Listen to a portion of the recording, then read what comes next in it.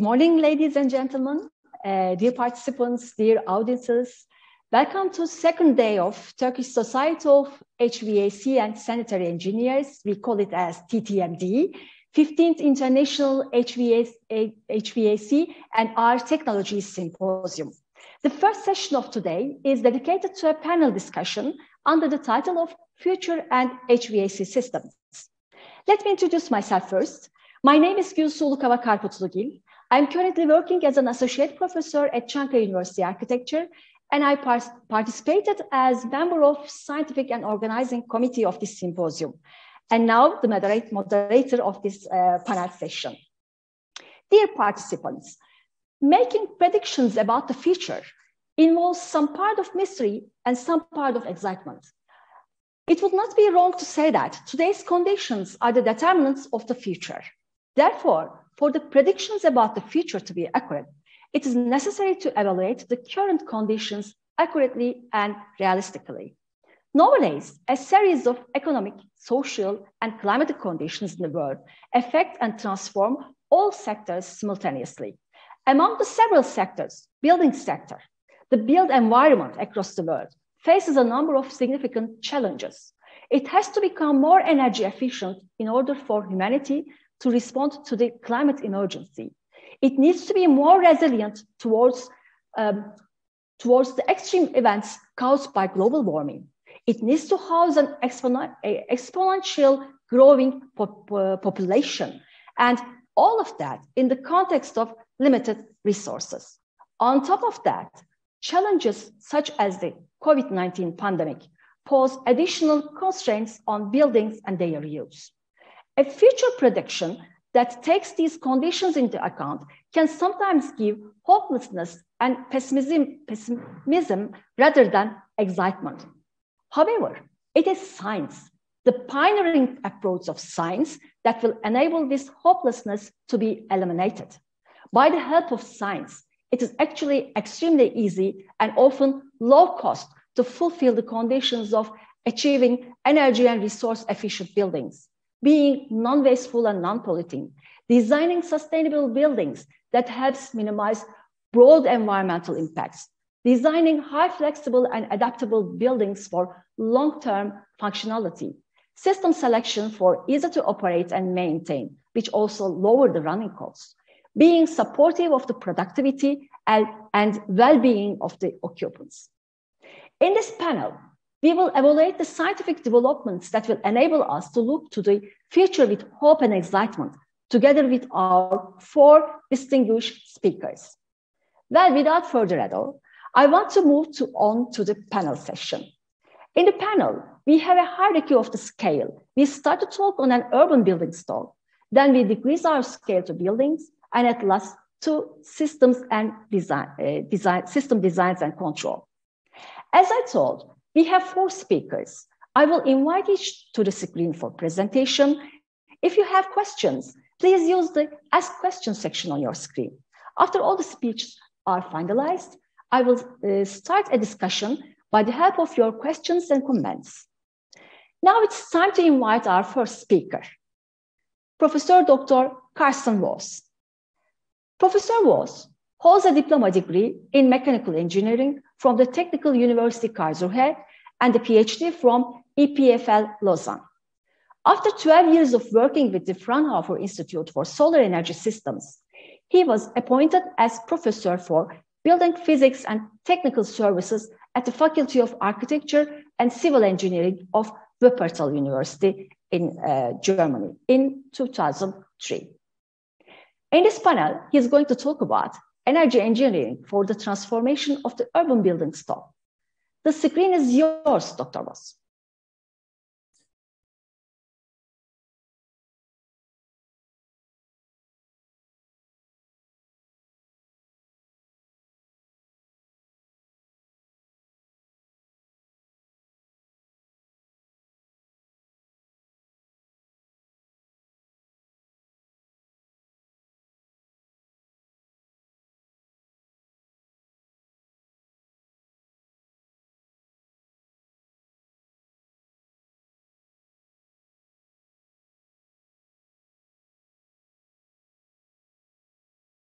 Okay.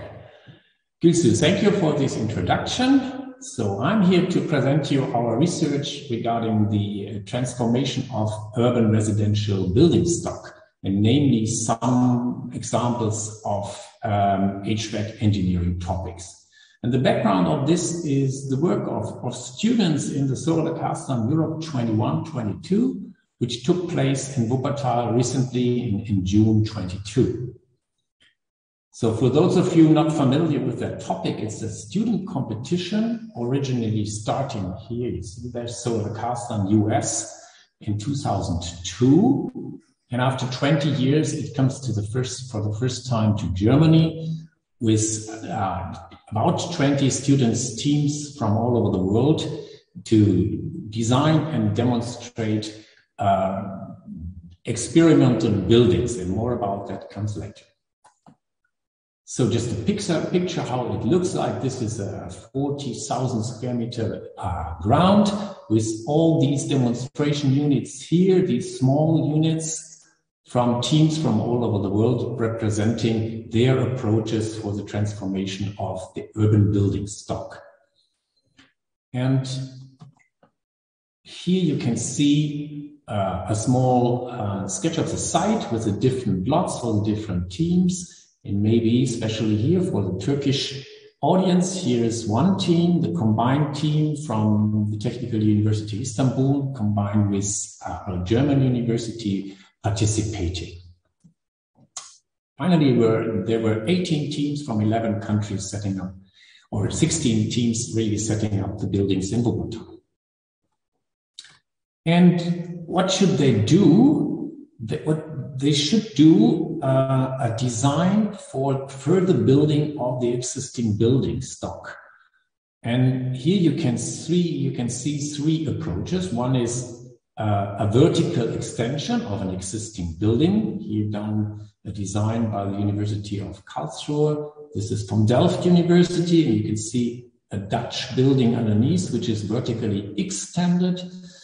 And in this example, it's uh, a project where you fill a gap in an urban environment with a new building.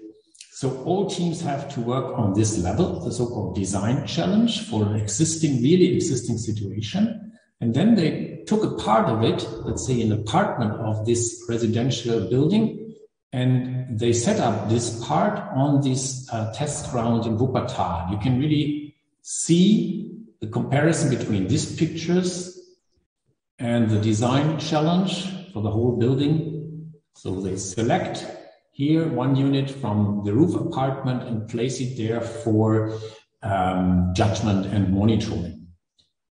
And that means these approaches were judged in 10 disciplines from architecture to innovation, and three of them are uh, monitored disciplines, all the rest are juried. Finally, there was a scoring. The, the, teams received different points, and of course, they are they the teams make a good job. All teams make a good job, but some make it even better. So we have winners, and you see on the right side the, the projects winning the first, second, and third prize. But it's not today that I will talk about uh, competition in more detail, but I want to highlight some uh, approaches which might be uh, interesting aspects for the HVAC components in development of the urban building stock. But before coming to that, I'd like to mention if you don't have the chance to go to Wuppertal for this competition, you can take the chance to, to visit our digital campus. So you can have walkthroughs through all these units. There's an internet address given here and please use this web page to, to move into the buildings and to have a first impression. Um, practically, the results, the energetic results of these projects were very uh, convincing. So almost all projects after these two weeks of competition receive a positive energy balance, means a balance between their energy consumption and the, the generation of electricity on the building during the competition time.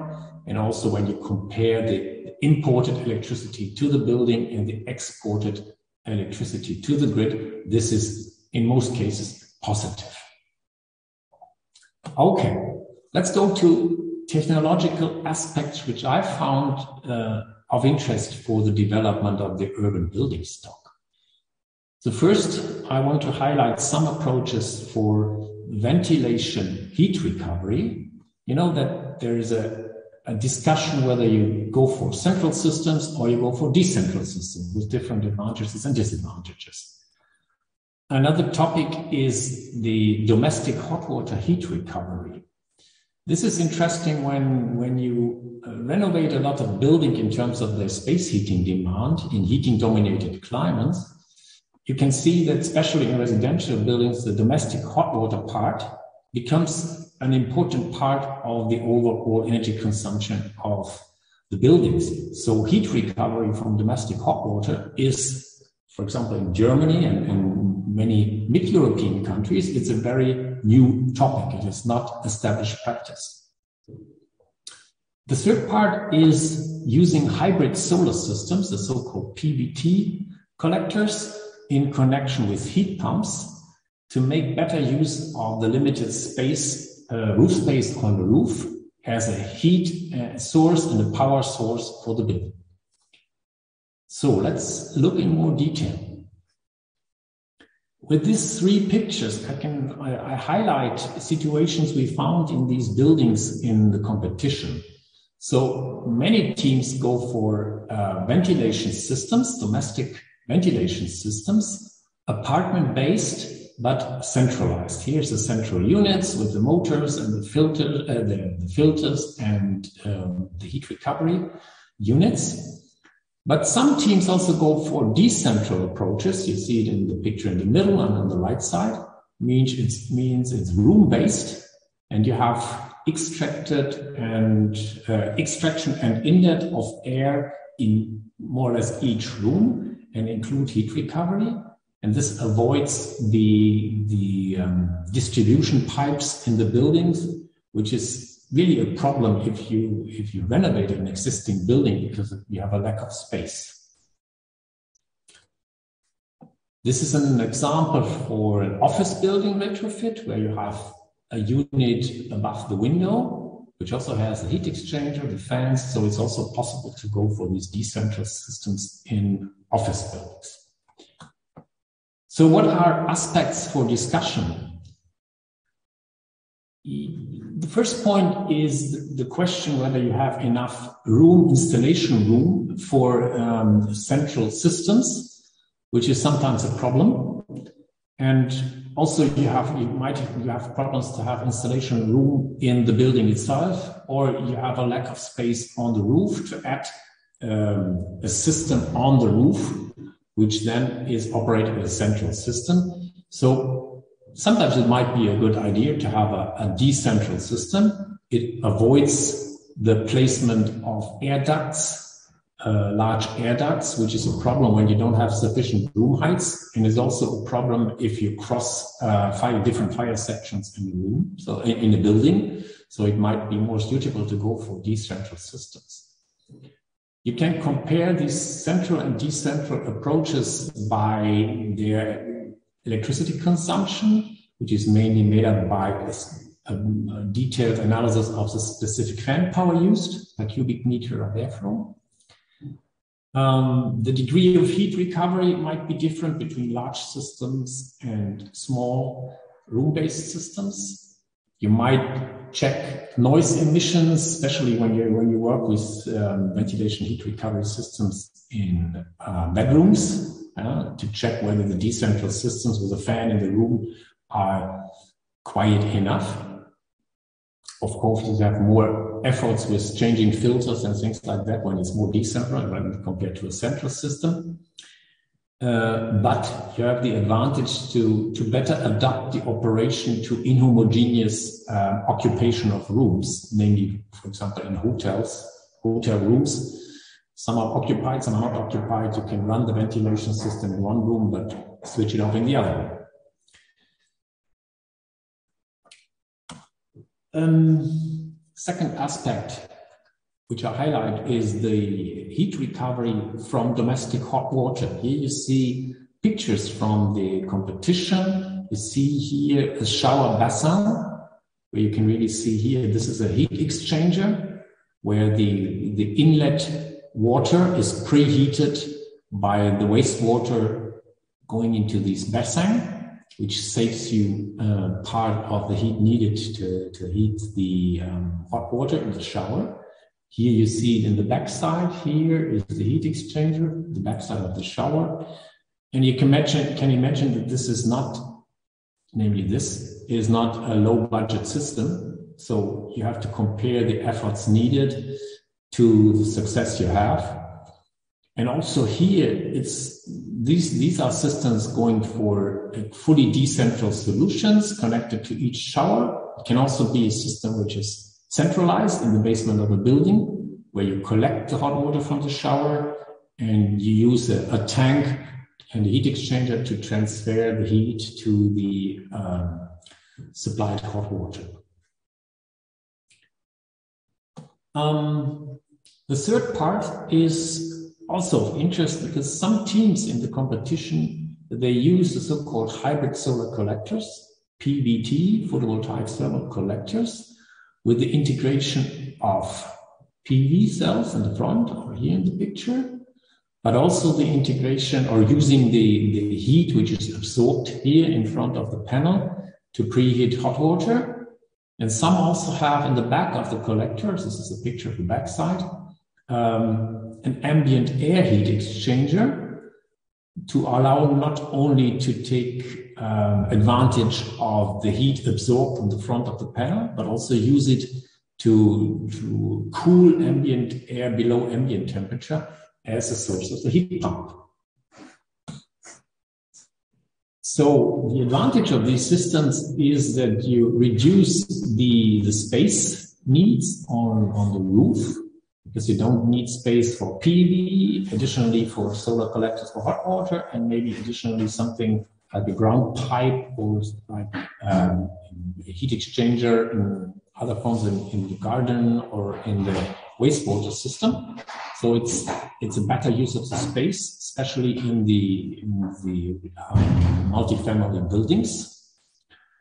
Um, in the urban environment, you sometimes have problems with the use of, for example, ground pipes as a heat source for heat pumps because it's not possible and you don't have enough space to install that. So it might be a good combination to use these kind of uh, PVT collectors with this ambient air heat exchanger as a heat source for uh, compression heat pump or maybe in future a gas driven heat pump with hydrogen.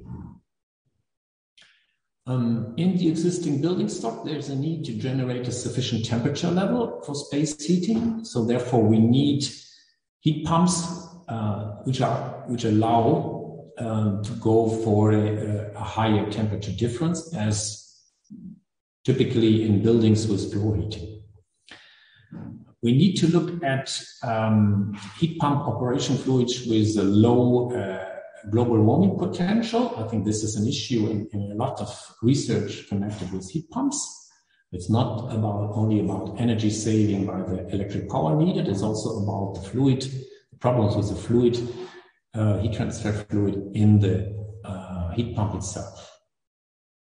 There might be again the question how central or decentral the systems are uh, man- or installed so it can be a central system for an apartment building, or it can be decentral, a decentral heat pump, and maybe also a decentral solar system per apartment. You might consider a, solar collector, a, a PVT collector on the facade, which is directly connected to an apartment heat pump. So there are lots of things possible, and we, we always come across the question, what is better, decentral or central? And of course, there are innovative control strategies possible to, to improve the operation of the heat pumps in combination with the needs from the power grid to reduce, for example, the, the electric power consumption in times when the power from the grid has a higher CO2 content. So that's about my talk. I just selected three of the innovations shown in these competitions. There are many more, but maybe these three are of interest for, for you as an audience and also for us for um, the discussion later on. So that's it for the moment, and I can close my presentation.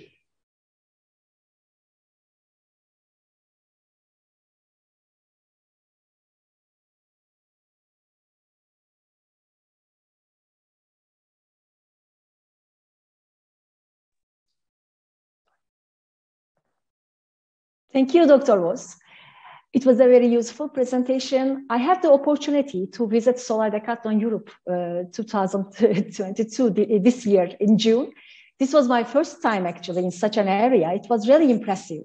I came uh, across very impressive and creative solutions, not only in terms of system design, but also architectural design as well. Um, it was also very encouraging to see the efforts and successes of the young uh, colleagues there. So I thank you again for your presentation and move, on to the next speaker. Our second speaker is Dr. Lada Hensen. Lada Hensen Centnerova is a researcher and teacher in the Building Physics and Services Unit of the Department of the Built Environment, Eindhoven University of Technology, the Netherlands. She is Operational Director of Postmaster Program Smart Buildings and Cities.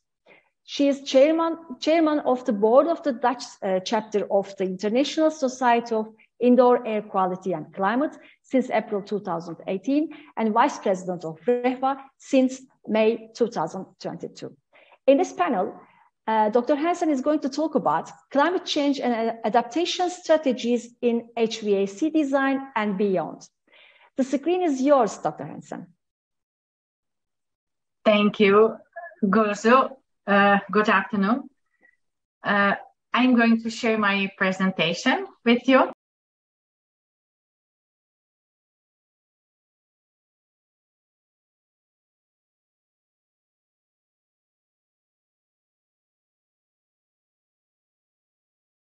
Yes.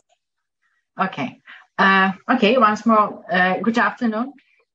I just want to say I also visited uh, Solar Decathlon in Wuppertal and uh, yeah, I found it uh, also very interesting to see all these uh, houses and ideas. And actually, as uh, Guzu now said, many of them actually went beyond uh, uh. And as you can uh, see, that is also actually the the title of my presentation. I would like to speak about adaptation to the climate change which goes beyond the HVAC systems. Um, so why do we have to adapt to the climate change? Uh, well, because our our landscapes uh, are changing and the weather conditions for which our houses and the HVAC systems uh, were designed are changing. Uh, I'm not going to show any chart with increasing outdoor temperature and different scenarios for the future. You all know that. So I just uh, wanted to illustrate that uh, actually climate change with these uh, nice pictures. Uh, this is a short overview of um, what I would like to speak about it. The blue items are related to HVAC technologies and the rest uh, from the category is from the category beyond. At least that's how I see it. Um, and if we look at it uh, from the different perspective, uh, then the red um, or pink background are passive cooling possibilities, and the green background are actually people-related problems. And uh, well, where is the problem, there also needs to be found solution, of course. So I will speak about it. Uh, the main reason why we have HVAC systems is to create a healthy, comfortable, or just a good indoor environment. That's why I would like to start with the basics. What is uh, influencing the indoor environment? Uh, the, the main four categories are outdoor conditions, buildings itself, building services, and the last but not least, the people. Their behavior have has a very strong influence on the indoor environment. So, what are the main problems and uh, possible solutions to ensure the good indoor environment? Actually, one of the consequences of climate change is an urban heat island effect. Uh, according to literature, the first time observed and reported temperature differences between urban and rural areas was uh, by Noah Webster in 1799 in New York. He reported a 0.0 uh, degree Celsius difference on year mean temperature between New York and uh, rural areas. Well, nowadays are these differences even more. In the Netherlands, uh, sorry, in the Netherlands uh, is the year mean uh, temperature difference between big cities and rural areas, areas three degrees Celsius, and day differences are up to seven degrees Celsius. So, what can we do about this? Well, you can see it already on uh, my screen. Make our cities greener, starting with uh, streets and roofs. So, yeah, architecture. Another possibility is to make uh, the direct surrounding of uh, buildings uh, with natural uh, shading possibilities, like trees, which give shading during the summer, but let the sun through during the winter, or generate evaporative cooling by water surfaces or vegetation. So that was like really outside uh, the house uh, problems and possibilities. But looking at the building construction, everybody knows that uh, you see in old massive buildings, it's uh, nice and cool during the summer or hot weather. And for that, I have here like a picture, illustrated picture, extreme example. It's a Uçhisar Castle in Turkey. I found of internet, of internet. Um, th- that is because uh, the good climate in the massive buildings because of the large thermal mass that acts as a heat storage.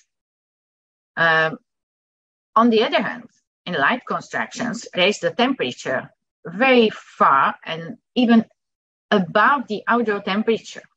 Here, again, extreme example, in a tent with a very light uh, construction. But yeah, heavy constructions, they seem to have advantage, but it's not always possible to realize uh, them or even desired.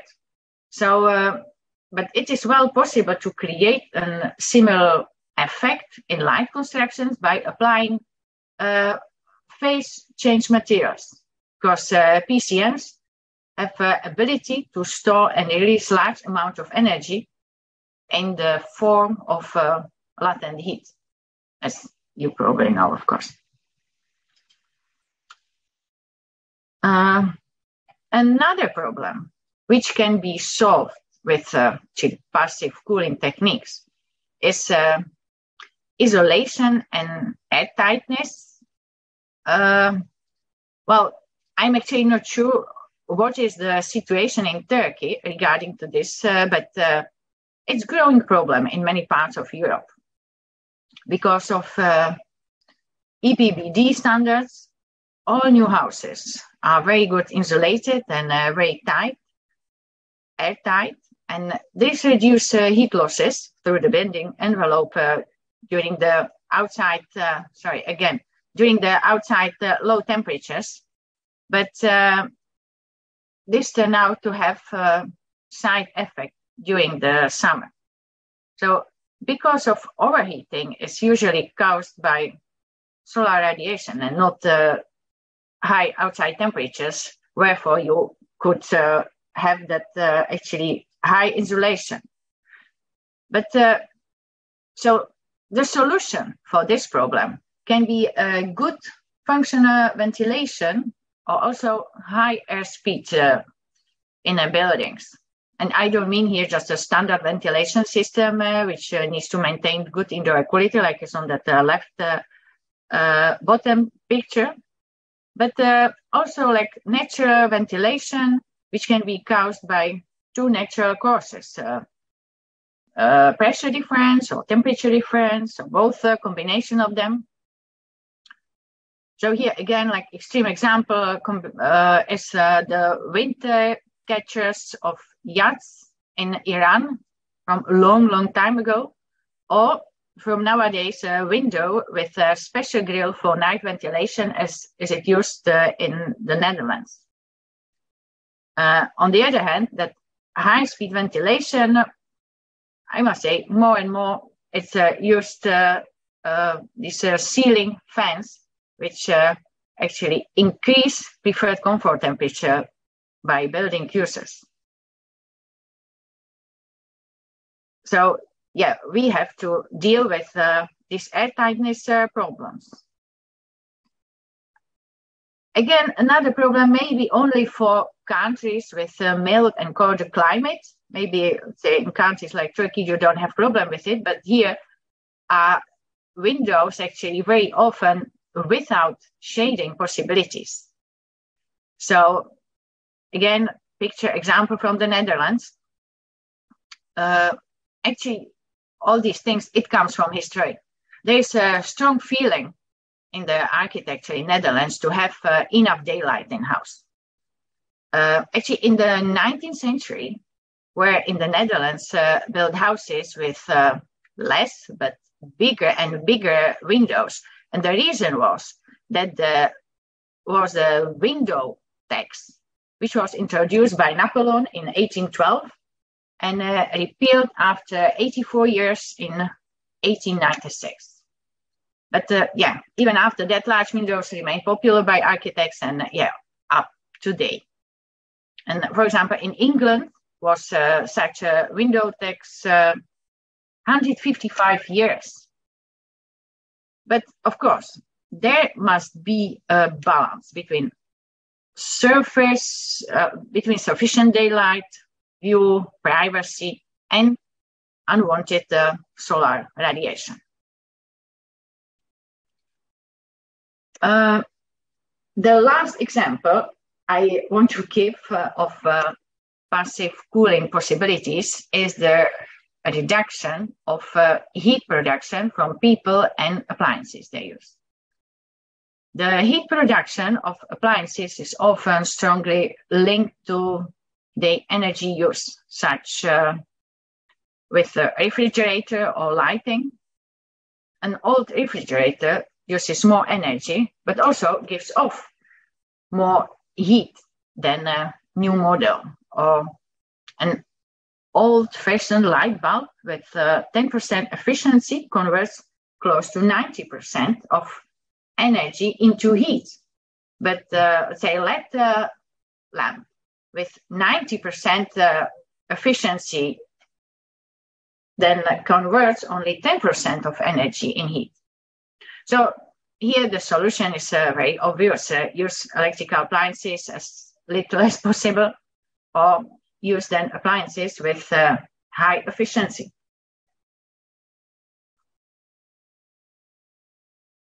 So the, these were actually like uh, passive cooling possibilities related to buildings, but uh, as I had in uh, the overview, there are also there's influence from people, and uh, so people they have very strong influence. Uh, if I use uh, again an example from the Netherlands, because I uh, live in the Netherlands, I come from the Netherlands.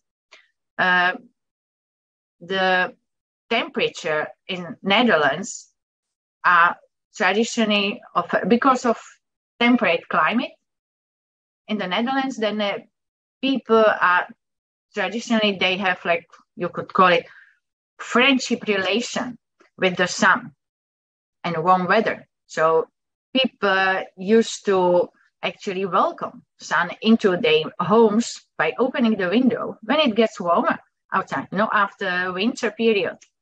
So people here are actually not used to close the windows. And very often, as I already mentioned, they do not have any shading uh, possibilities. So compared to what I put here as an example on a picture to the traditional architecture in Greece, uh, there are many possibilities of passive shading and people are used to block the sun in uh, but uh, in other countries. But uh, yeah this is problem in the netherlands. Uh, people they do not have actually the right behavior in their dna we could say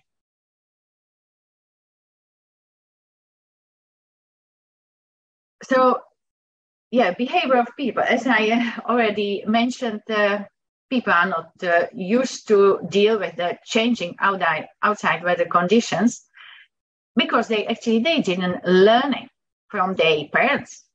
Uh, because at that point uh, there wasn't there were not these problems. Uh, there was not uh, a change uh, weather conditions. So here for this slide, I used uh, as an illustration and photo as an example of uh, two houses. These photos are next to each other in the Netherlands during the heat wave in uh, 2021. Uh, so as you can see, there actually isn't outside shading on many of these uh, windows and many of them are open. Even that outside temperature was close to 40 degrees when this photo was taken. So, yeah. Uh, next to the HVAC technologies, we as a specialist, I think we have to help to change uh, people's uh, behavior and, uh, yeah, maybe even their uh, expectations. So, so that they don't have to, we don't have to use uh, very much real active uh, cooling systems. But yeah, of course, it's not always uh, possible to maintain indoor environment with, without using the traditional uh, cooling systems. But uh, nowadays, with the energy crisis, uh, yeah, passive architecture cooling uh, possibilities are very welcome to save energy, I think. And actually, with this, I would like to uh, close my uh, presentation because actually, people they can adapt to changes, changes by evolution, but also temperature changes of the environment. I highlighted uh, here two outcomes from the research done by uh, Professor Wouter van uh, Marken Lichtenbelt and his colleagues from the Maastricht University in the Netherlands. Uh, that uh, the research proves that uh, people are actually they can adapt to higher temperatures or even lower temperatures, extreme weather, and it's even good for their health. So with this, uh, think, positive message, I would like to finish my presentation.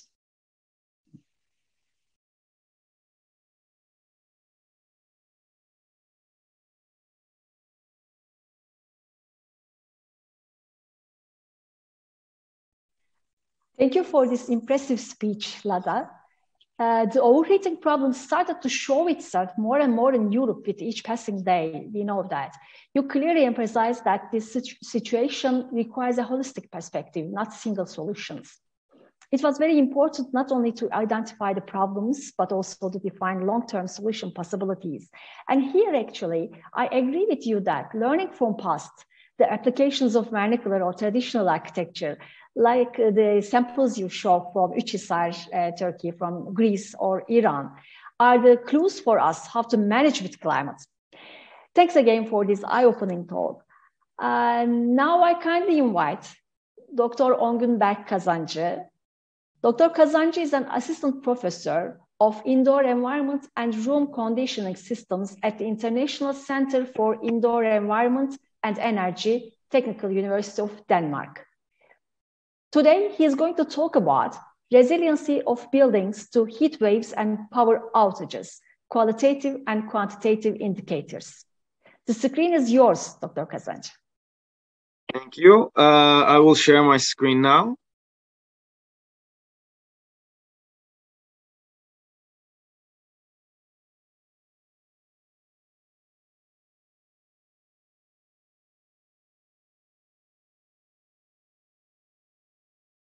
Uh, well, thank you, uh, Professor Harput and uh, I would like to thank uh, the organizers for uh, for inviting me. Um, I think before I get going with uh, with my presentation, I would like to say that I haven't, I have not been to the latest version of Solar Decathlon, but in 2012 I was part of the Team DTU, which was the first one. We were responsible for the entire HVAC system, including the solar panel. So that was my first experience as a student and then the second version in 2014 then i was the faculty supervisor of the students doing the same thing. It's a wonderful once in a lifetime experience. So i just wanted to to say that. And with that then i'll get to uh, my today's presentation. I made a slight uh, change in the title. Um, i changed that to resilient cooling uh, current work and uh, two promising technologies. And uh, my name is Ongun Berk Kazancı and i'm an assistant professor at the International Center for Indoor Environment and Energy at the Technical University of Denmark. I just need a moment to get my laser pointer. Perfect. Um, so today um, I'm going to briefly talk about uh, one of our ongoing international projects, uh, which is Annex 80, and we're going to give a little more information about one of the subtasks that we are leading. Then I'll talk about two possible solutions to, um, to let's say, current and future uh, problems, climate problems. The first one is radiant cooling systems. I'll briefly introduce them. I'll do the same for uh, personalized environmental control systems. And going to, I'm going to show results from some preliminary simulations, and uh, we'll conclude with a summary and future steps.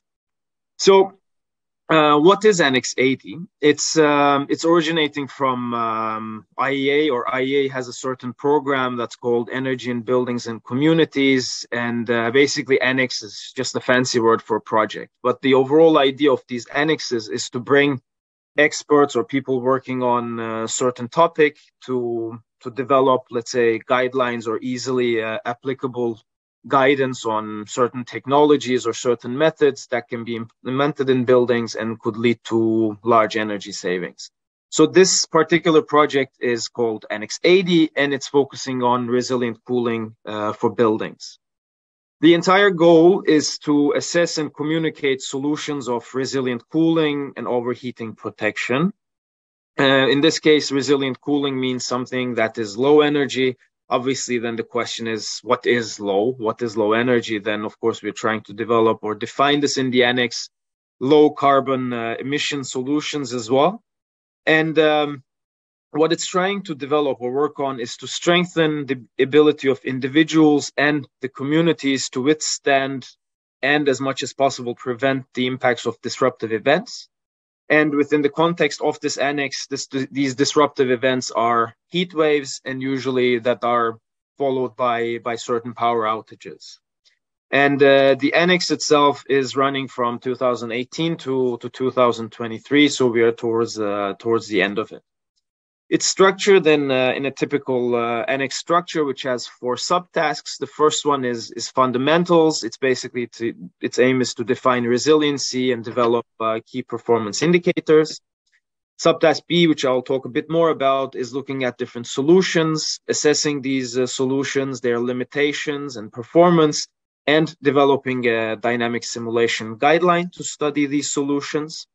Subtask C is, is field studies looking at uh, these specific technologies and how they perform in buildings in, in real life. That's why it's called field studies. And then the last subtask is, uh, is the policy actions, basically to, to translate all these findings of the annex into things that can be, let's say, acted upon and that can be possibly implemented or integrated in standards and regulations. So subtask B is, as I said, it's looking at solutions. And what we want to do is to develop criteria and methodology that can both qualitatively and quantitatively evaluate the resiliency of current cooling technologies, assess their benefits, limitations, and performance of these um, cooling technologies, again, focusing on heat waves and power outages, And then the final goal is to develop guidelines for design and implementation of these technologies. Um, I will not get into the details, but within the annex, we've developed, or sorry, we've uh, classified these uh, solutions into four different categories. And I'm going to show examples of here B, which is removing sensible heat from indoor environments, and then C, enhancing personal comfort apart from space cooling. So I'll talk more about these two systems. We've had uh, two major outputs so far. Uh, the first one is a uh, is for the subtask B, of course. Uh, the first one was uh, was a review paper where we reviewed these resilient cooling strategies based on their working principles, what they can do, what they cannot do, and we also developed a qualitative assessment methodology and um, assessed these cooling strategies according to these uh, qualitative KPIs. And then the second one, as I mentioned earlier, is that we developed a dynamic simulation guideline. And the, uh, and the idea of this, uh, this simulation guideline is to be, agree on universal uh, boundary conditions when we carry out uh, simulations so that when different groups, when they make simulations and claim, let's say, that the system is resilient, then we have a universal or let's say uniform um, way of comparing and making sure that the simulations are done correctly. What we're working on further is to develop uh, quantitative KPIs and then technology profile sheets to basically to communicate how resilient these systems are. So that was uh, hopefully a very brief introduction to Annex 80 and some of the work that's um, as a part of part of subtask B. So now I'll move on to uh, one of the examples that I'll focus on today, which is radiant heating and cooling systems. But obviously, we are focused on the cooling. So they are they work with uh, with the principle of low temperature heating and high temperature cooling, which basically means that uh, that the heat transfer medium that we are operating it is close to to the room temperatures that we that we want to achieve. For a system to be called uh, radiant in this context, uh, the heat emission or removal needs to be at least by radiation. And of course, depending on which surface of the room is used, and if it's in heating and cooling, then the, the percentage of, of convection is, is changing. So the entire heat transfer is by combination of radiation and convection. We're looking at mostly uh, water-based systems because it allows us to have a higher performance. And floor, wall, and ceiling surfaces can be used. And since we use these large surface areas, we have a large heat transfer area. And that is also the main, let's say, characteristic that allows us to have this low temperature heating and high temperature cooling principle. There are three main types. The first one is uh, radiant heating and cooling panels, which are normally suspended from ceiling, so they are detached from the main building um, structure. Then the second part is uh, radiant surface systems and also pipes that are isolated from the main building structure. So they are embedded in the building, but they are building surfaces, but they are insulated from the actual, let's say, structure of the of the building. So this is, for example, a floor heating system. And then the last one is uh, what's commonly known as uh, thermally active building systems. And in this case, we have actually pipes that are embedded in the main building structure which we then by circulating either heated or chilled water can activate and control the thermal mass of the building. And it's very commonly used in multi-story buildings.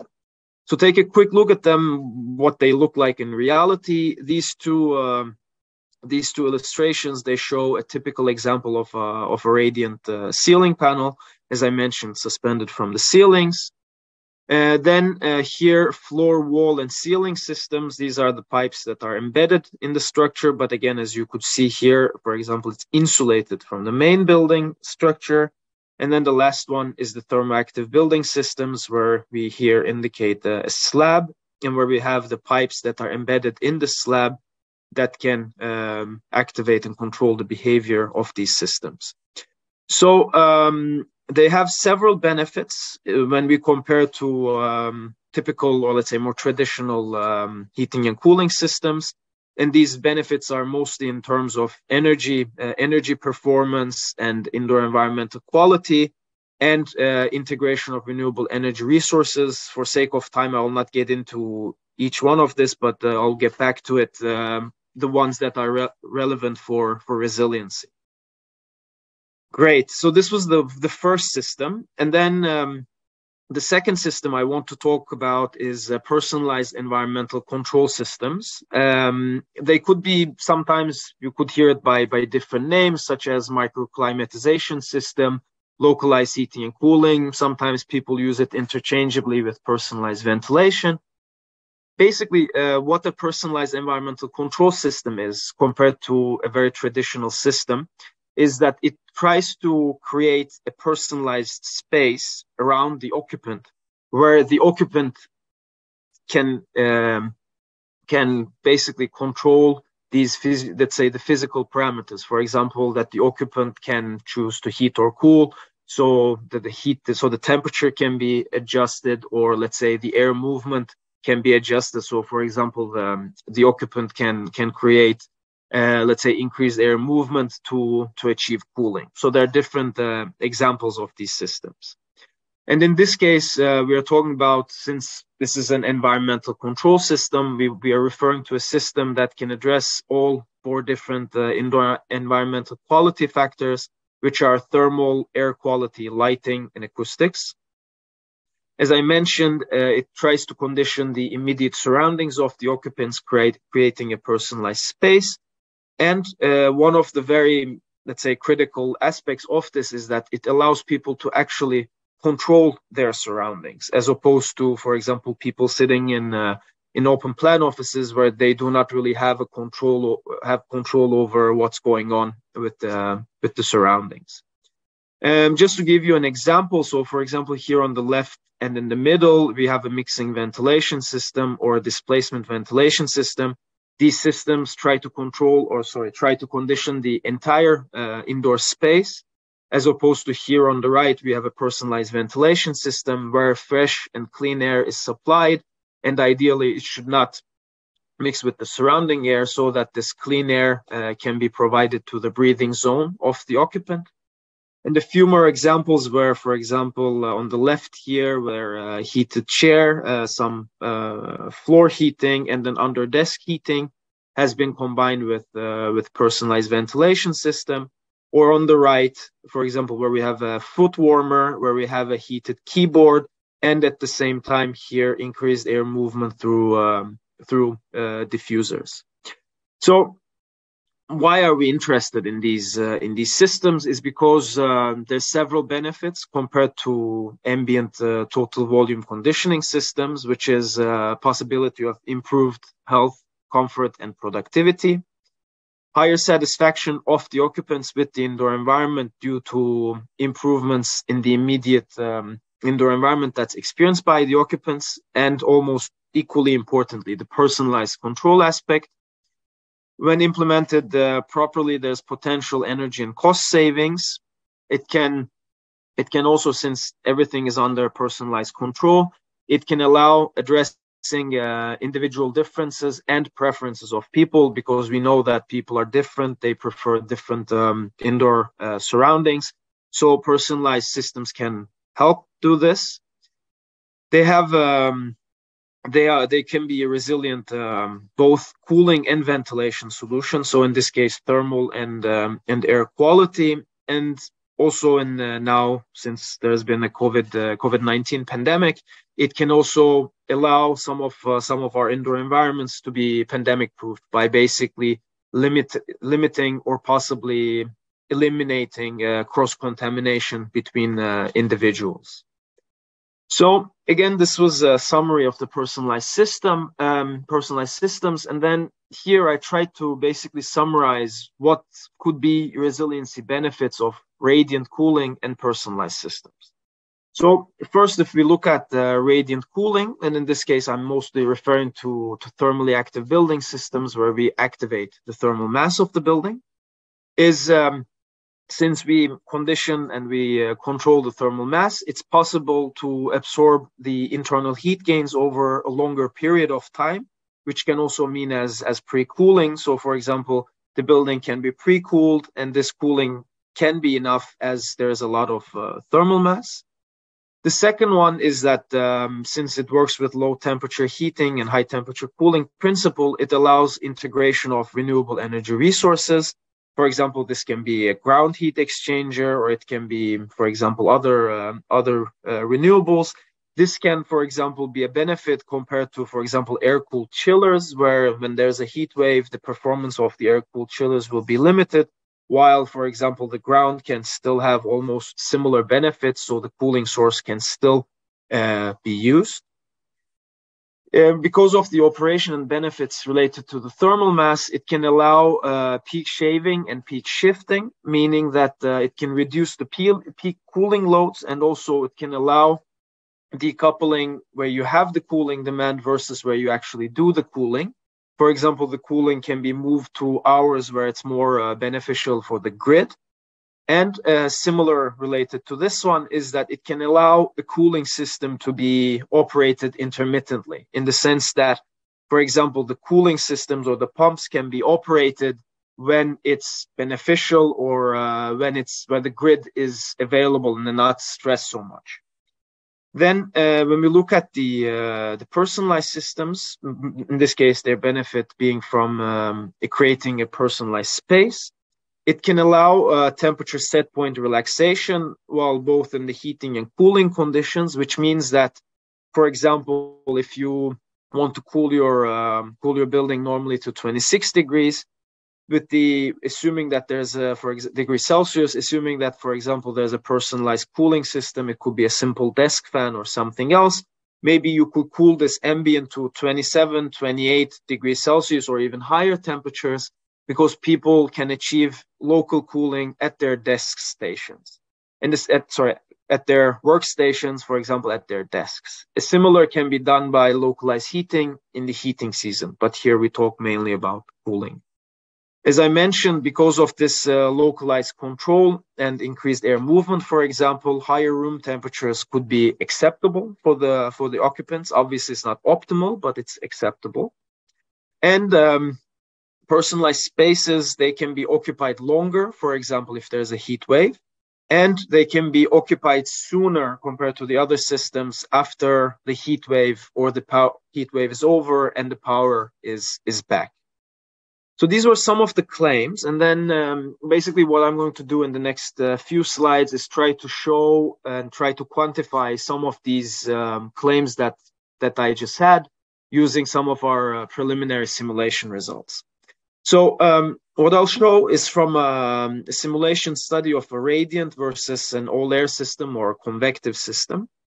Uh, we used um, a simple model of uh, of a module office office building module where we have a west facing office and an east facing office, which is uh, two two person offices, and there's a corridor in between. It's not um, it's not a very advanced model. Then we had the thermally active uh, building systems versus a packaged uh, terminal air conditioner, which works with uh, with the convective cooling we simulated for TABS for intermittent, which is 12 hour operation, cooling when the building is not occupied versus a 24 hour operation, which we already knew it's not optimal. Then um, we carried out the simulations for, for Copenhagen and we used the future weather files for um, developed within the Annex 80 project. And we used the most severe uh, heat wave. We simulated the uh, lightweight and the heavyweight construction and we simulated with and without uh, power outages during a heat wave. So uh, the first one is what I'm going to show is uh, is an overview of the cooling season, and uh, it's showing operative temperature before, during, and after the heat wave and power outage. So the graphs looks like this. Uh, on the x-axis here we have the the time of the year, and on the y-axis we have the operative temperature. We have um, six different system combinations, as I explained, and then here the gray area is showing when there is a heat wave and a power outage. So this is shown just to give you an overview of what it would look like with different systems. And basically, I will now zoom into the first and the first week of the heat wave and the first week after the heat wave is over. So when we look at um, the possibility or the performance of these systems for maintaining the comfort conditions, it looks like this. So we have the first week of the of the heat wave and the power outage. So at this point on July 12th, the heat wave and power outage starts. And then here, if you look at these uh, first two, two, three days, basically, we could see that uh, the TABS both the heavyweight and the lightweight is better at uh, keeping these comfort conditions or the temperatures below the levels that we would like them to be compared to this uh, compared to the convective system. And here the these three lines that you see correspond to correspond to 26 27 and 28 degrees celsius which are uh, the categ- upper levels of category 2 3 and 4 for office buildings based on en 16791 standard and then also the same as the ISO 1772 uh, first part. Now, to make this a little bit more, let's say, uh, quantifiable, when we look at uh, the performance here, everything everything you see here on this right hand side is is hours, and the gray sorry the green one is showing the number of hours that each system or the combination was able to keep temperature below 26 degrees the yellow is for 27 degrees and the um, and the brown is for 28 degrees Celsius. So basically, what we could see is that the tab, tabs and the heavyweight building was able to keep temperatures basically longest within these, let's say, comfort comfortable conditions or the higher levels of comfort, basically. So we could see that the, the tabs was performing better in this case, while basically the, the convective system performed uh, quite poorly in the sense that basically the building had to be basically emptied or people had to go out after almost 12 to, to 14 hours. When we look at how these systems can recover to, to the comfort conditions, then we look at the first week after the heat wave is over and the power is back so we can cool the, cool the building again we can see that the uh, the tabs, especially now in this case the, the lightweight tabs, but also the um, the other tabs conditions, almost except for the intermittent operation, they can reduce the temperatures to 26, 27, and 28 degrees quite quickly compared to the convective system. And in this case, if you look at it, it's basically overall, the tabs can make sure that the building can be occupied again within one to two days after these uh, conditions are over, while it would take um, for the convective system about two to five days. And then one of the interesting things here that we could see is that uh, for the intermittent operation of a tabs building, if we wanted to reduce the temperatures to 26 or uh, sorry 27 or 28 degrees, it performs almost as good as if it was constantly cooling. Of course, it takes longer for it to get down to 26 degrees because we are doing an intermittent operation, but this could also be an, let's say, an alternative for an operation once the power is back, then, but maybe we don't want to, let's say, load the grid so much. So following a similar uh, explanation as we just briefly explained, we saw that um, based both on standards but also on literature that we can extend the temperature ranges that buildings are, let's say, occupiable when we have the personalized environmental control systems because people have cooling at their desks, at their, let's say, with their own control. So this table I'm about to show is showing the hours below these baseline temperatures from the beginning of a heat wave and the power outage, and hours again once the heat wave is over and the power is back. So if we look at different uh, baseline temperatures, now we extended from 26, 27, 28 to 29 to 30 degrees.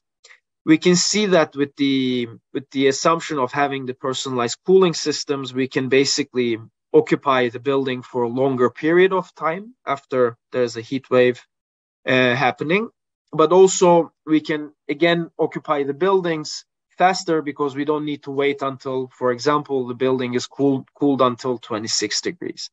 Now, when we look at this, of course, there's uh, several uncertainties in the sense that obviously you will not stay in an office building for 64 hours straight. You might go home and you might come back, or then there's more uh, critical conditions but this is just to quantify and provide an idea of how long um, buildings can be occupied or how soon they can be occupied. So now I'm moving to uh, to summary of what I've been uh, what I've been talking about. Um, this, the two selected systems, the radiant cooling systems and uh, personalized environmental control systems, they have several benefits compared to traditional systems and they are also promising solutions during heat waves and power outages, or if you could have, let's say, somehow backup power. Of course, we need uh, different operation strategies depending on which type of building it is, where you are in the world, and which type of conditions are happening outdoors. And therefore, their exact benefits will, will depend on several factors. And um, even though I didn't show it in this slide, I just wanted to mention that these personalized systems, if they have, for example, air cleaning uh, capability integrated, they can also be a resilient solution regarding air quality. For example, if outdoor air is, let's say, not clean and if it's affected by, let's say, um, some forest fires or sandstorm or something like this, it can also be used by replacing the outdoor air with air cleaning. But again, this is not something I've showed. If anyone is going to be in the AIVC uh, 2022 conference in Rotterdam in a couple of weeks, we have a paper uh, looking at this, this issue. So future steps of related to this, but also hopefully related to resiliency of buildings is that uh, we want to quantify the exact benefits under different boundary conditions. We are working on within the annex, but also within our group to develop uh, quantitative KPIs, both for long-term operation and for short-term operation. Long-term being, for example, the entire duration of a heat wave and short-term being a few days of the, of the heat wave. One of the things is um, regarding design, sizing, and operation guidelines based on detailed simulations. Because if we were, we knew if we knew that um, it's getting, let's say, the the climate is changing, that it's becoming hotter, and the heat waves are becoming more severe, then what should we base our, uh, let's say, cooling systems on, and how how we should do that? And of course, we should remember that uh, while we're doing all of these things, that the buildings are built for people, and it's for built for people to make them comfortable, healthy, and and well, and ensure their well-being. So we need, in all these conditions, we have to include the occupant and have a more occupant-centering approach rather than what the system can do, what the what the building can do. And um, I didn't say it, but that was the the underlying idea of these two system selection is that um, the way that uh, at least I see it is maybe a little bit uh, sci- uh, science fiction, but what we see is that for the for the cooling systems, we are going to see a trend that is moving from building attached to building detached, and then ideally to to occupant attached systems.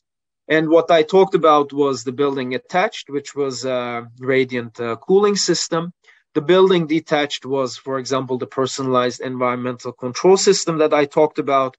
And then the occupant attached system is basically wearables, wearable cooling or ventilation devices, which we see some examples of for, for outdoor uses, but possibly we will, we will see also for indoor use in the future. And uh, with that, I will conclude my presentation and uh, thank you very much for, for listening.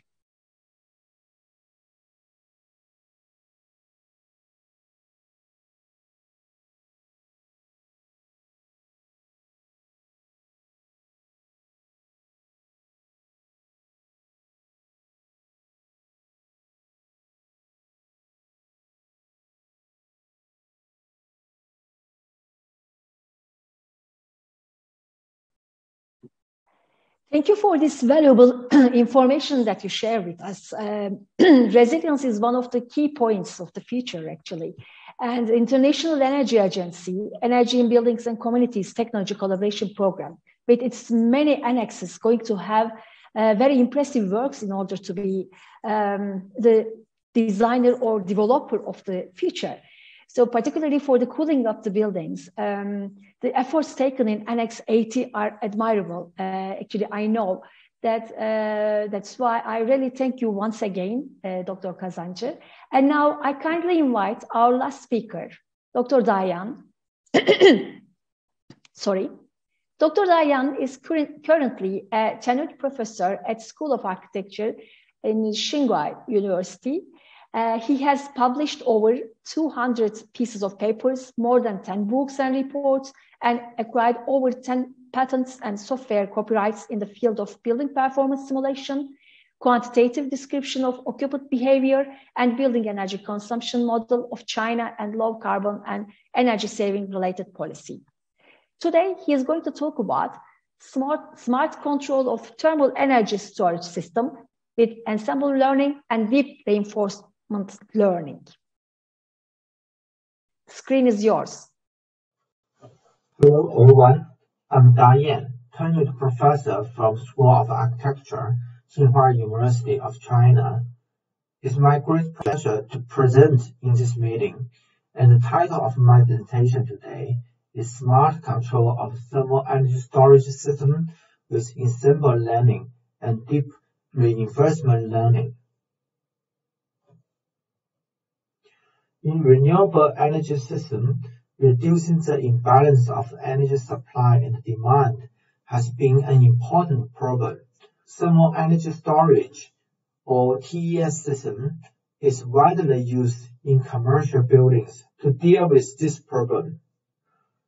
The optimal control of the TES system is important for an ice-based TES system in a commercial building. Chiller storage ice during the midnight when electricity price is lower. The TES system will release ice during the daytime when the electricity price is higher. There is an efficient approach to reduce energy cost in commercial buildings. So these key questions are, when is the best time to release or storage ice, considering the uh, electricity price and the chiller COP? And how much ice needs to be released or storage, considering the predict cooling loads? For this issue, day-ahead cooling load prediction is very important for the management of the TES system. And the decision making of the TES system under these uncertainty factors is important for cost efficiency of the system. Traditionally, operation strategies of thermal energy system are fixed and designed by engineering experience. This method is widely used in real practical because it's easy to operate. However, as cooling load changes with weather condition, fixed schedule is not suitable for every day. To deal with it, research solved problems optimization problem with the predictable cooling load and statical boundary conditions. Since there is error in predicting cooling load and the thermal storage system's performance change dynamically with weather condition and operation conditions, the static boundaries condition cannot reflect dynamic situation. To deal with the uncertainties, the first key is to build an accurate cooling load prediction model. Ensemble learning is used to reduce prediction uncertainty. The second key is to optimize cooling structure on the physical model. Reinforcement learning is used for solve optimal control problem under system efficiency uncertainty. This is the overall approach for this study. We use historical data and weather forecast to predict cooling load with an ensemble learning model, then make control structure with a reinforcement learning model to test the cost-saving performance of the thermal storage system the first part of study is ensemble learning cooling load prediction model. In commercial buildings, cooling loads is influenced by weather and occupancy. The inference process is different in buildings. To deal with this problem, we assemble three machine learning algorithms in the model for accurate prediction of cooling loads. The model is trained with historical weather, cooling load data, and so on. The day-ahead hourly cooling load is predicted according to the input features such as weather conditions. We use mean absolute error MAE and CVMAE to evaluate the prediction performance. The case study for this research is a commercial complex in Beijing of China, including a commercial building and an office building. The cooling system is an ice-based thermal energy storage system designed for cost efficiency under TOU tariff. We evaluated the ensemble learning cooling load prediction model in this case. The establishment of this model involves optimization in four parts, which include model structure, input features, prediction algorithm, and model update method.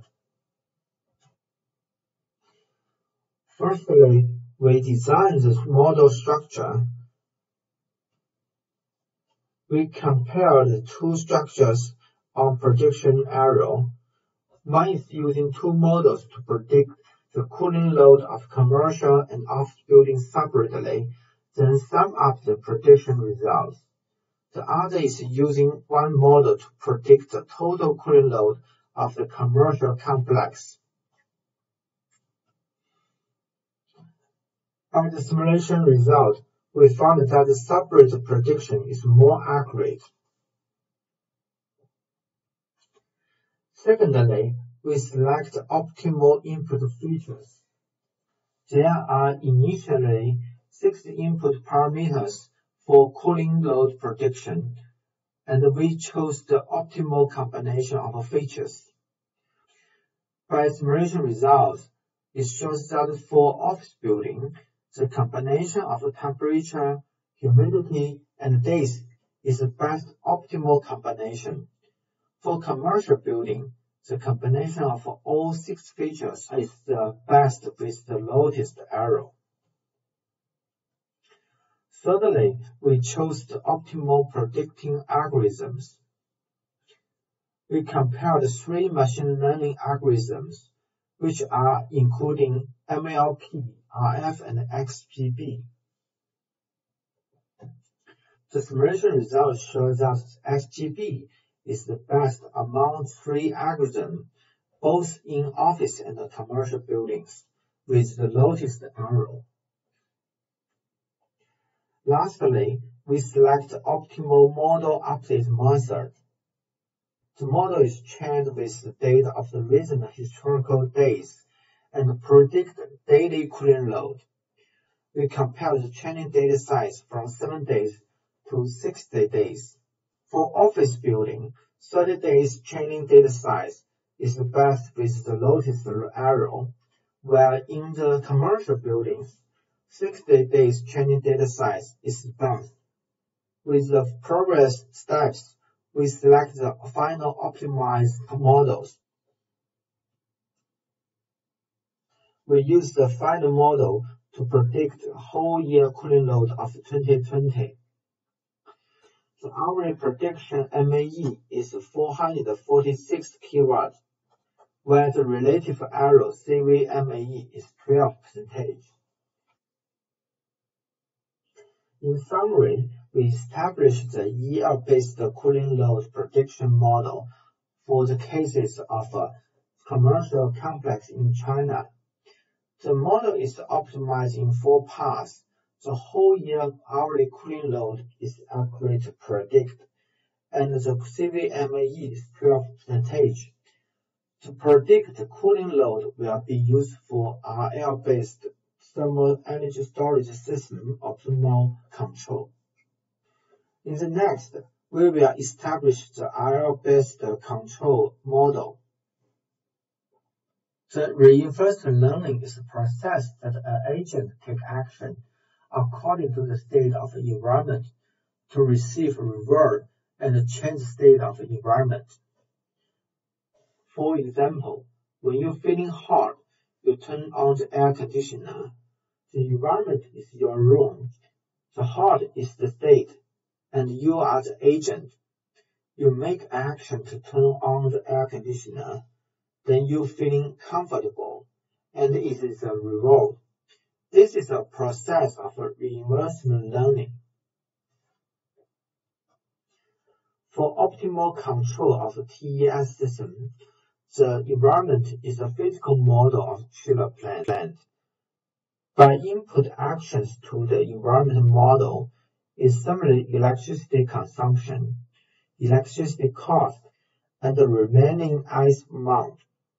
The environment model simulates how the conditions change when taking an action. The reward reflects training target of the RL model and is used as a loss function of RL agent training. Since TES optimal control refers to daily load shifting, we use daily total electricity cost of chiller plants as a reward. The agent plays a role of decision maker in RL control.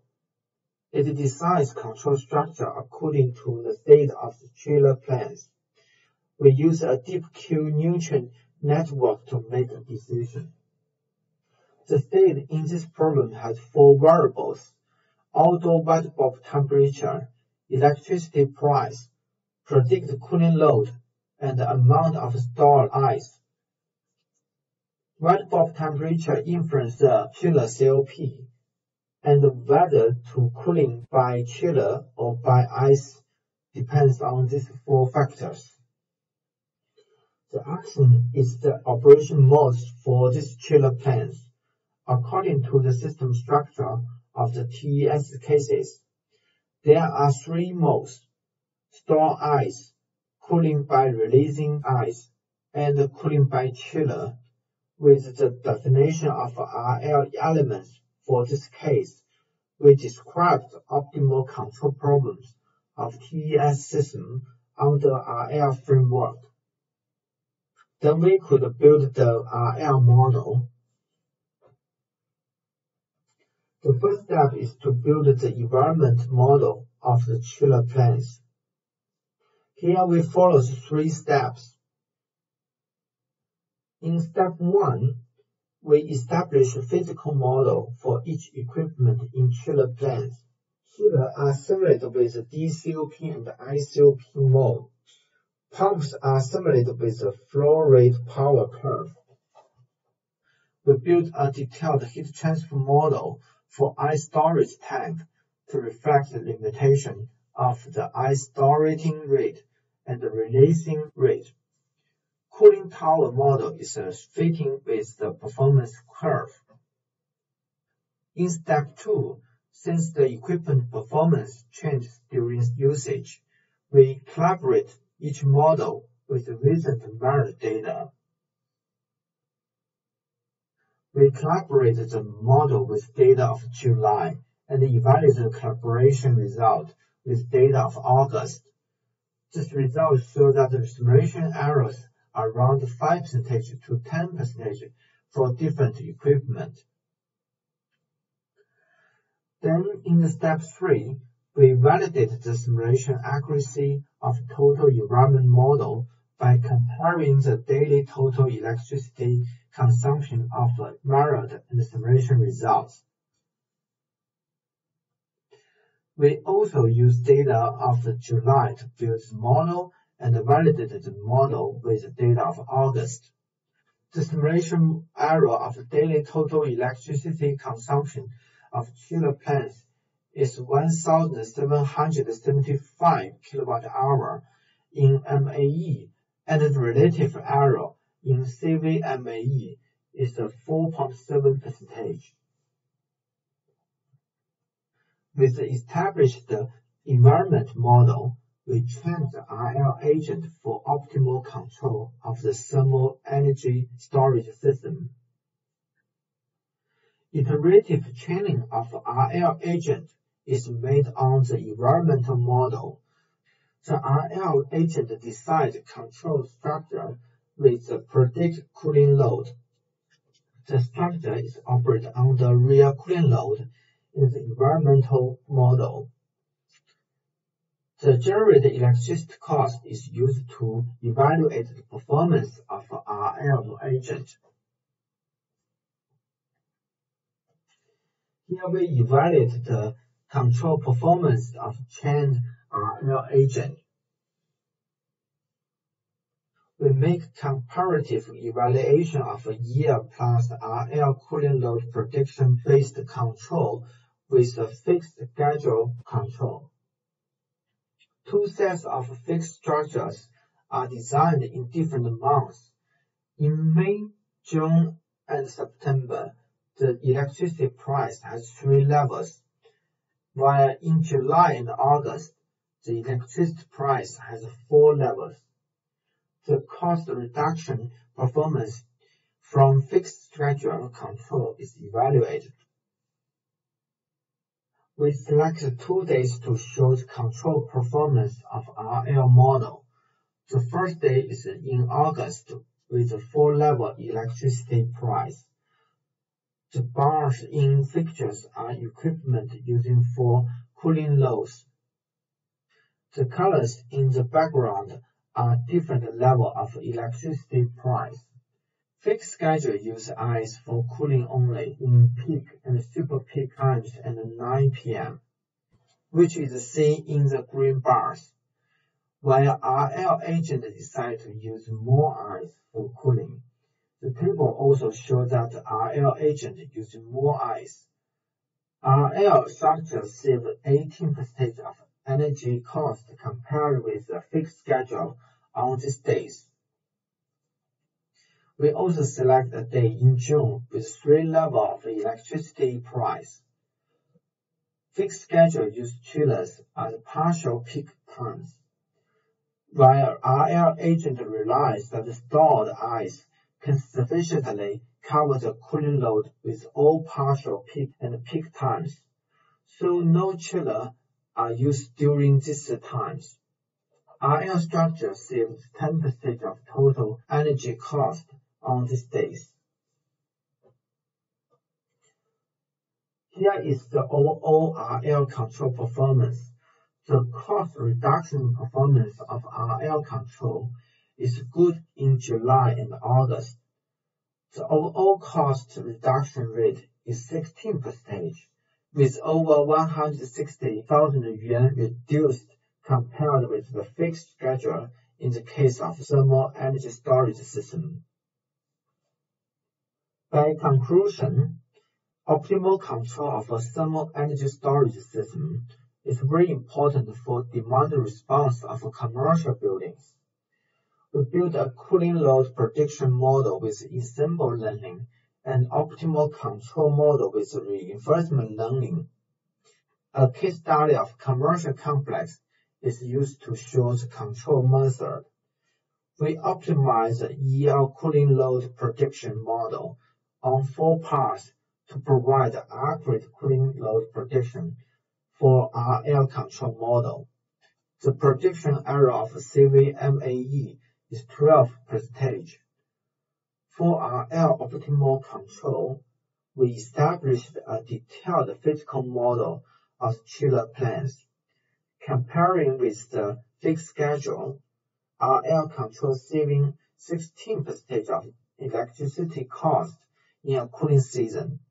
Thermal energy storage optimal control with ensemble learning and reinforcement learning is promising to be applied in real-world operation.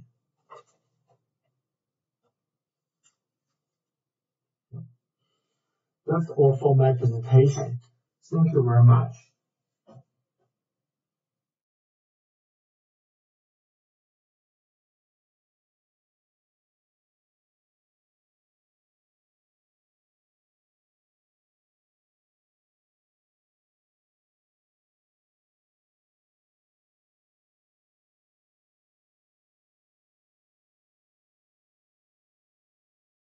Thank you, Da. Uh, your projection on smart control framework for cooling systems of public buildings widen our perspective, actually. Obviously, there are solutions for the systems design point of view, for sure. It's seen that application of the prediction-based control method in a cooling system of the commercial complex will be enhance the performance of the system and providing guidance for information technology applications in buildings. So it's really a promising study to be applied in real world operations. Thanks again, Bob. Now uh, it's time to collect the audience's questions and comments. Uh, please, while you are uh, asking your questions, indicate who you are asking uh, that question. Meanwhile, uh, while we are collecting the uh, comments and questions, I would like to start the discussion with asking you a general question about the future. Think that we suddenly beamed up to 2080, almost 50 years later from today. What kind of world do you think you will encounter in 2018? Uh, while you are answering this question, uh, please um, think about the, the, terms of the expectations in the building industry, HVAC system sector, and within the framework of your own professional research area for sure. Okay, who would like to start first? Okay, so then, then let me start. Well, actually, yeah, I've never thought about it, but uh, now you're saying that. Actually, I would expect that uh, there will be many more free running buildings that, uh, you know, they don't need uh, uh, heating, or neither cooling, just ventilation, because our architecture, because uh, people behavior, because our new materials and all concepts, everything is already developed and actually we can cope with any climate uh, at that point. That's what actually I would expect. Hope, yeah, good. and hopeful expectation. Thanks to you. Thanks to you. Uh, what else? Your predictions about the future? I think I think to to support that, maybe I will also imagine that there's uh, renewables everywhere in mm. different uh, shapes, forms, uh, sizes, probably. Um, and hopefully, I mean, I think I can't predict, but I can hope that there is uh, no no more need for for fossil fuels. And um, I think, as Lada said, that even if there's let's say some part that's need, needed for something mechanical, heating and cooling, that can be done maybe like very localized. Mm. And uh, yeah, most probably, yeah, most probably. Yeah, but about the uh, for sure you we need to think about the changing um, uh, the population as well. This will be a bit chaotic maybe for us, but anyhow, uh, Dayan, would you like to say something? Uh, yes, uh, very interesting topic. How the world will be uh, uh, after 50, 50 years later. So it's uh, very hard to imagine, but I think uh, in the future, we our building will definitely go to the uh, net zero energy and also net zero carbon emission.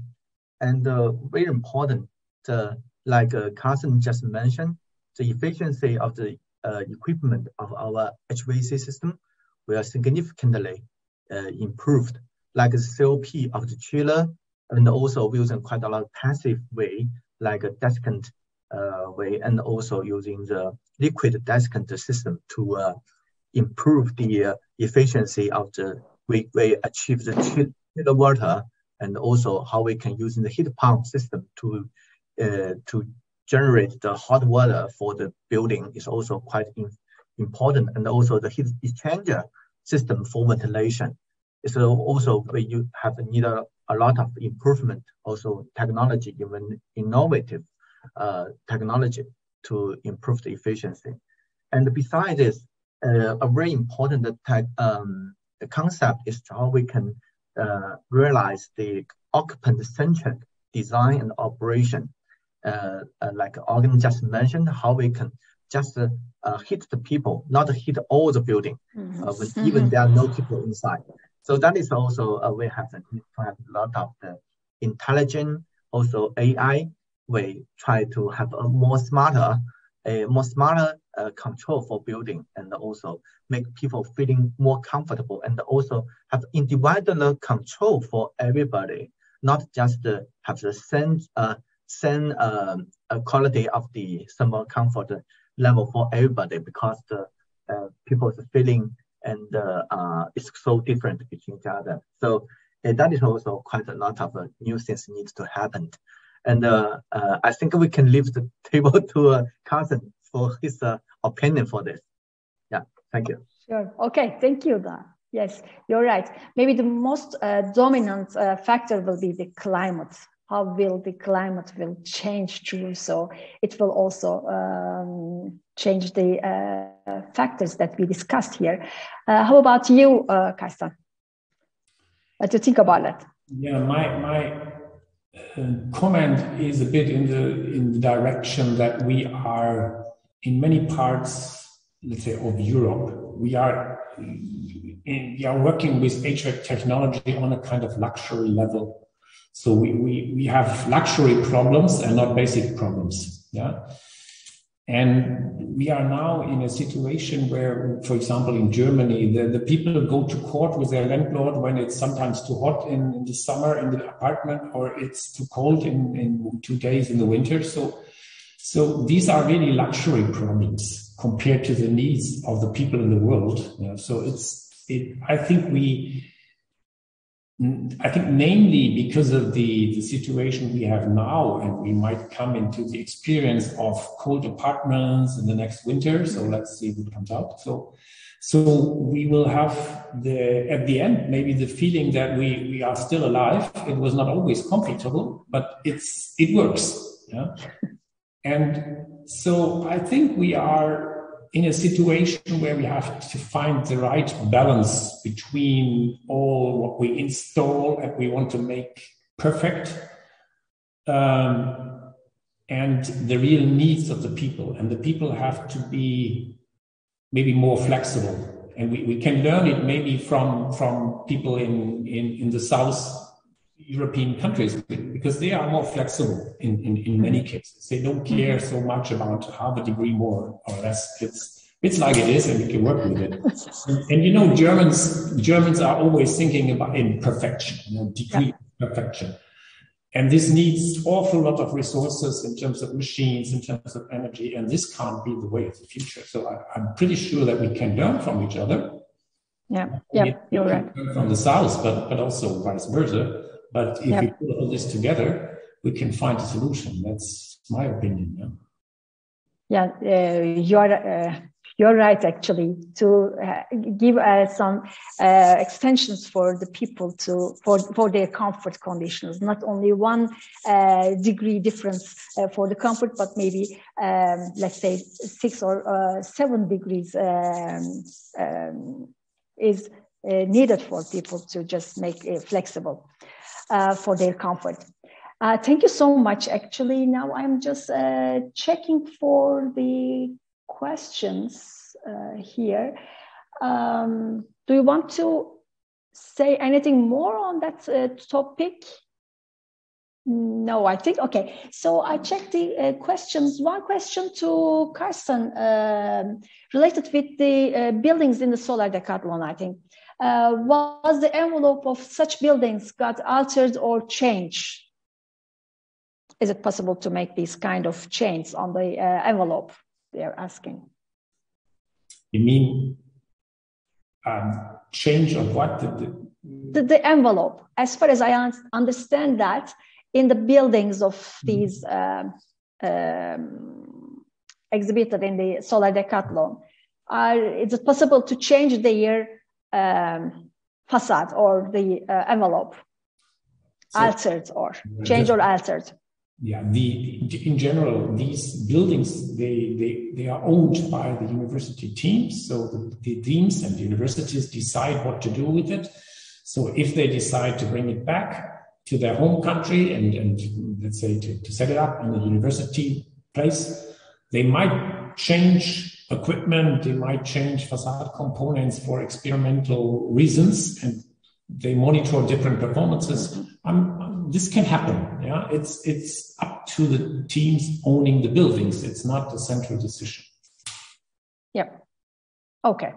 So um, one other question to Ongun. Um, this is in Turkish, so I need to translate it. Sorry. Um, if we use this pacts. Um, is it uh, possible to change our understanding of classification of the buildings or building types? Uh, do we need to uh, make another typology just considering only the uh, carbon dioxide or emission uh, values? What do you think about that? Um, I think I'll start by saying it's something I didn't mention um, in the presentation. I think both for um, for radiant systems or personalized systems, I mean they can be used in um, in renovation of buildings. So they are not necessarily a new building solution, but they can be used in in renovation of buildings. Um, regarding you know building performance uh, typology, I mean if I understand correctly, I mean the building typology will not change. I mean if it's an office building, it will be an office building. If it's an elderly care home, it will be an elderly care home. But what it could uh, drastically change is uh, first of all energy performance. That you know you can, as I mentioned, you could relax these um, uh, room temperature set points, ventilation rates, and so forth but one of the things we still don't know and uh, hope to answer with uh, with the new annex now, Annex 87, mm-hmm. is that what would let's say existence or use of such a system? What would that mean for uh, dimensioning of heating and cooling plants? Because um, let's say suddenly you don't need to have maybe so large chillers or so large boilers or whatever you want to call it, heat pumps so that you could actually go lower uh, on, let's say, maximum capacities and it could improve their performance and so on. But uh, of course, one issue with this is that um, maybe uh, the building codes or standards are not necessarily ready for this because there is mm-hmm. certain, you know, standards or certain procedures for calculating building heating demand, cooling demand, and that you calculate the building energy performance based on that. There, at least at the moment, there isn't really a way to say, well, okay, I would normally dimension this building for 26 degrees, but I have PECS, so I can dimension it for 28. So currently, there is no, let's say, that, let's say, uh, space in the legal documents, let's say. So I think it's one of the things for it mm-hmm. to be accepted and its performance to be quantified. We also need to have standards or standards making space for these type of uh, of systems. I think I gave a very generic answer to uh, to the question, but just some issues no. related to that. But but no, it's clear. It's clear yeah, that yeah. Uh, it's. Thank um, you. Thank you. Thanks a lot for your answer. I'm just uh, checking for any other questions. Um, seems no. Just want to check once more. Sorry. Uh, so. Um, one other question to you, or not a question actually, uh, your comments uh, uh, or your last words uh, regarding to the uh, our topic, the feature and HVAC systems. Do you want to say last words regarding to that uh, before we closing up our panel session? Last words think if if I may, maybe it's along the lines of what uh, what Karsten was saying earlier. I think um, you know in everything we do, we have to consider people, and then um, yeah. then I think it becomes a question of uh, if it's people's comfort or if it's needs or what's tolerable and so forth. But then what I just want to say is that of course you know people can tolerate higher lower temperatures, but for example in an office building it will have uh, effects on productivity of people. So I just wanted to say that everything is is connected and um, we shouldn't forget the people in the equation because in the end the buildings are for people. That's yeah. my last words. Thank you. And uh, lada do you want to say uh, something? Well actually i totally agree. That's what i usually say in my presentations that uh, actually we build building for people. And uh, so we have that HVAC uh, technology. Uh, actually, yeah, just directly say not to sell it, but uh, to maintain that uh, indoor environment uh, quality in buildings for people. So, yeah, we should have this uh, yep. actually on the top of our mind. Yep. All right. Thank you. Uh, Karsten?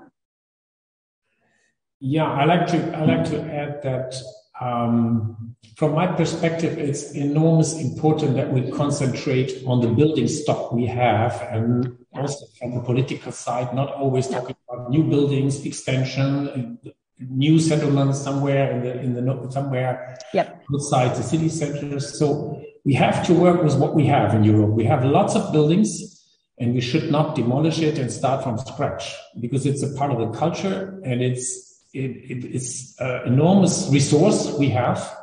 And we should concentrate, we should educate students, we should work with the industry and find solution to adopt what we have to the new situation. And this is sometimes forgotten and, and people concentrate on mm-hmm. zero energy building yeah. extensions of cities, which is nice, but doesn't change something on the whole picture. So the whole change comes from working with the existing building stock. Of course, this is different in, in, in Asia or Africa. So, uh, yeah. talking about Europe, Central Europe, or even North or South Europe, it's, this is an issue. Working with what we have, and this should be the focus also for working with new HVAC solutions for existing buildings, and therefore yeah. the, the discussion about how central, how decentral systems can be to be uh, for people. That means maybe something like the basic service is central, but yeah. the rest is decentral and not trying to fulfill everything central or everything decentral. Maybe it's something like this. Yeah, you are so right. Actually, we are just uh, like we are talking about or thinking about the future. We also think about that we uh, also bring these um, building stock problem to the future also as a problem. So we need to think about that. Okay, uh, Da, uh, last words from you. Yeah, uh, I, I fully agree with, with the uh, comments from all the experts. So indeed quite important that we need to facing the climate change uh, to the building is a, a, a, big challenge for all of us. And also uh, it's a um, we, we need to facing how we can use more renewable, renewable energy, try to replace the fossil fuel energy in our building. So um, to facing this uh, challenge, uh, it's quite important. We, we need to have a, more um, resilient or more uh, flexible energy use in building. And uh, uh, we may uh, achieve some of this demand side management to make our building energy usage yeah. more correlate with, uh, with the renewable energy supply. And also, uh, we, we also like uh, just uh, many of our experts mentioned, the ex, uh, first we need to adapt with people's behavior. We need to know the demand from people, not just give a fixed level of uh, supply requirement for all the people, but we need to have a, a selection for the people the people uh, they can adapt with the uh, they can change the indoor climate by their requirement. But also sometimes we need to have more education, more a culture change to make people more uh, uh, conversion with the energy usage in buildings. And also our equipment, like the, the, the our HVAC system, we need to, uh, to have a better adapt with people's individual control that we can fully uh, reduce the energy usage and also meet with the carbon emission reductions mission. So uh, I'm quite uh, uh, positive to say the performance of our building will go higher and higher, and also the uh, carbon emission of our building will be significantly decreased during the next uh, decades. So that's my uh, perspective for the future of our HVAC system. Thank, thank you. Thank you all for your okay. comments. Okay. Thank you. Thank you so much, uh, Uh, well, actually, now I think it's time to wrap up our uh, session. So I would like to thank to all our panelists for these pleasant and informative talks. I collect several take-home messages actually from this panel discussion. Um, I take some notes. Uh, first one is related with the cooling. Uh, cooling is the indicator for performance of future buildings, as I see. So occupant behavior and control strategies are the second item in my list.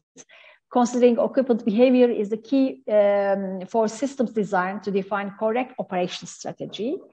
Uh, besides all, uh, learning from past, traditional design and operations are the clue for us while developing the feature. And uh, last but not the least, actually, is the young generation. We need to trust young generation uh, to their potential, which we see their achievements in solar decathlon efforts. Uh, future is in their creative hands, I think. So as for the last words, we are in a new era. Uh, whether sustain a livable environment or destroy it is exactly in our hands. Particularly, it's critical for building sector, which has a significant role in resource consumption. We have no choice without selecting a sustainable, healthy indoor and outdoor environment for the future. The world is changing and evolving. We need to strive for this change and evol evolution to benefit humanity, and we need to believe in the guidance of science. If we can evaluate our experiences correctly and learn lessons, the future will not be a horrible secret, but a predictable hope. Thank you for all of the participants to the panel. Now it's time to close the session and have a coffee break. Have a nice day, and please don't forget to follow the rest of the technical sessions of the symposium today. Goodbye.